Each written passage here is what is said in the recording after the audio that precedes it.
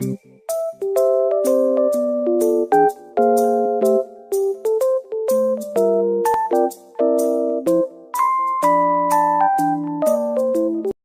đi học đơn giản cho mấy bà nha. Đầu tiên là em áo thun này. Chất vải phải nói là siêu dày dặn luôn. Bà nào mà cao 1m58 như tôi thì mặc sẽ tới bắp đùi nha. Tôi sẽ phối chung với chiếc quần trung tâm này. Thường thì tôi mặc quần size S nhưng mà em này hơi ngắn với tôi một chút. Tôi sẽ phối thêm một em áo khoác sơ mi ở ngoài Và một chút phụ kiện nữa là xong nha.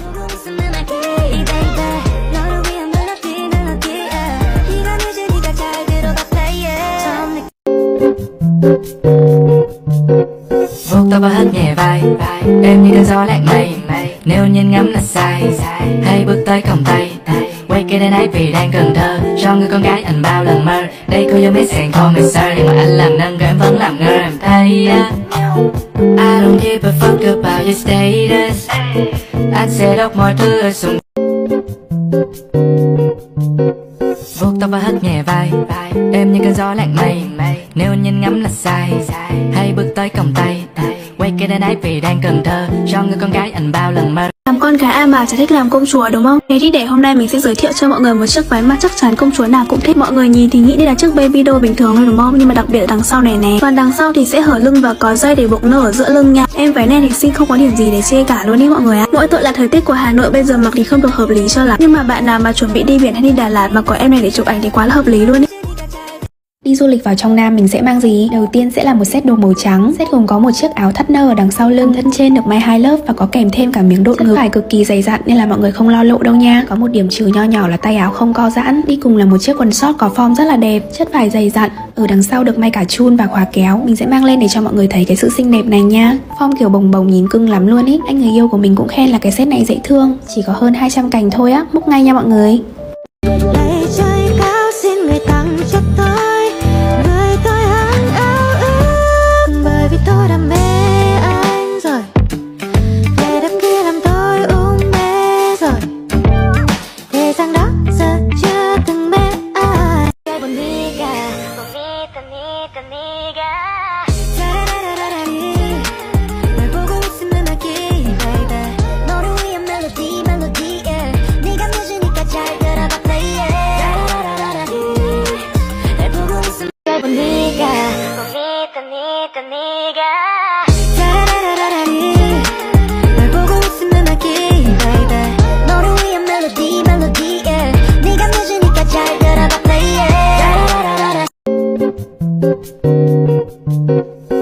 Tóc và hất nhẹ vai.